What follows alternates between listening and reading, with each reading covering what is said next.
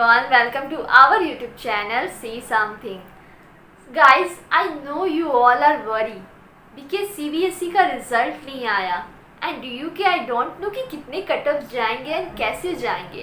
Everyone is worry for it I know I can understand but guys you will have to maintain your patience because you have no any other option because हमारे time पे exam होते थे result आते थे even हमें exam के time ही पता चल जाता था कि हमारे किस कॉलेज में एडमिशन होगा because of our performance but आपने एग्ज़ाम तो दिए नहीं हैं। तो इसमें आपको वरी होने वाली बात है आई कैन अंडरस्टैंड बट अभी आप कुछ नहीं कर सकते। लेकिन लेकिन, यहाँ पे मैं आपको एक्सपेक्टेड कटअप बता के आपकी थोड़ी प्रॉब्लम को सॉल्व करना चाहती हूँ। आई नो कि बिल्कुल आप देख लेना, ऐसा ही होगा। बिकॉज़ मैंने दिल्ली यूनिवर्सिटी में अपने थ्री ईयर्स स्पेंड किए हैं। आई कैन अंडरस्टैंड कि हर साल एग्ज़ाम होते थे ई के ट्वेल्थ के रिज़ल्ट आते थे आफ्टर डेट कट ऑफ़ आते थे। बट इस बार तो सब कुछ डिफरेंट है। बट मैंने अपने टीचर से बात किया इस बारे में, ताकि मैं आप सबकी हेल्प कर सकूँ। I really want to help everyone so guys देखिए एक्सपेक्टेड कट ऑफ़ एक्सपेक्टेड होता है। बट इस बार एग्ज़ाम नहीं हुए हैं तो आप सबको पता है कि जिस लेवल का आपका रिज़ल्ट जाएगा, वो बहुत हाई जाएगा। बिकॉज़ इस बार कोई भी बच्चे फेल नहीं होंगे C B S E board में एंड अदर बोर्ड्स के भी कुछ में एग्ज़ाम हुए हैं एंड किन्हीं में रिज़ल्ट आए हैं बट कुछ ऐसे भी बोर्ड्स हैं जिनके एग्ज़ाम नहीं हुए हैं। तो वहाँ पर भी अपने सिचुएशन के अकॉर्डिंग उन सबको नंबर दिए जाएँगे। तो फेल पास ये सारी चीज़ें तो हैं ही। तो इस अकॉर्डिंग डीयू के कटअप भी जाएँगे हाई आप मेरा लास्ट वीडियो देख सकते हो, जिसमें मैंने बताया है कि डीयू के कितने भी हाई कटअप जाएँ, उसके बाद भी आपके एडमिशन हो सकते थे।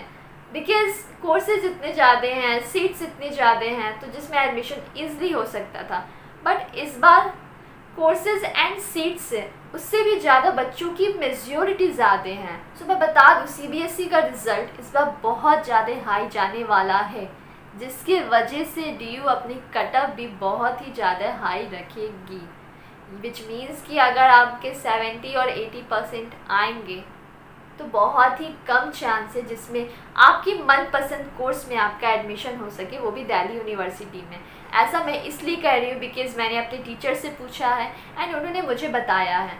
तो मैं, अगर मेरा सजेशन माने आप, बस एक सजेशन मैं दे सकती हूँ आपको इस चैनल के थ्रू जो आपके लिए बहुत ही ज़्यादा हेल्पफुल होगा। डैट इज़ कि आप किसी अदर यूनिवर्सिटी या अदर कॉलेज में भी फॉर्म फिलअप कर दो। आप एंट्रेंस एग्ज़ाम दे दो, जो आपके आसपास के एरिया के अच्छे कॉलेजेस हैं। वहाँ पे अगर एंट्रेंस एग्ज़ाम हो रहे हैं या फिर आपको लगता है कि डायरेक्ट मेरिट बेसिस पे वहाँ एडमिशन हो जाएगा तो आप वहाँ के लिए भी अप्लाई कर सकते हो। बट डी में इस बार बहुत ही कम चांसेस हैं कि अगर आपके सेवेंटी और एटी परसेंट आते हैं ट्वेल्थ में तो आपके एडमिशन हो पाएँगे। तो मेरा सजेशन यही है कि आप अपने आसपास के जितने कॉलेजेस हैं, जो अच्छे कॉलेजेस हैं, उनमें आप पता कर लो कि कैसे वहाँ पे एडमिशन होता है वहाँ पे कब से एडमिशन स्टार्ट होगा। आई नो कि आप सबको लगता होगा कि मैं क्या बोल रही हूँ बट या सच करवा होता है बट होता तो सच ही है। तो आप लोगों को ये मानना ही पड़ेगा। एंड पहले से ही अपना माइंड प्रिपेयर रखना होगा। बिकॉज़ उस टाइम पे आपको कोई प्रॉब्लम ना हो, ये ना हो कि आपका एक साल ड्रॉप हो जाए। आई रियली डोंट वांट कि किसी का भी वन ईयर ड्रॉप हो, या कितने भी ईयर ड्रॉप हो। आपको बस थोड़ा अवेयर रहना है चीज़ों को लेके एंड थोड़ा स्मार्टली काम करना है। क्योंकि आपको करना ग्रेजुएशन है, वो आप DU से करो या अदर कॉलेजेस से करो, उसकी वजह से आपका ईयर ड्रॉप नहीं होना चाहिए। आई विश कि आपके लिए वीडियो हेल्पफुल होगा। एंड आप इस वीडियो को लाइक करोगे शेयर करोगे एंड इस चैनल को सब्सक्राइब करोगे. Thank you so much everyone thank you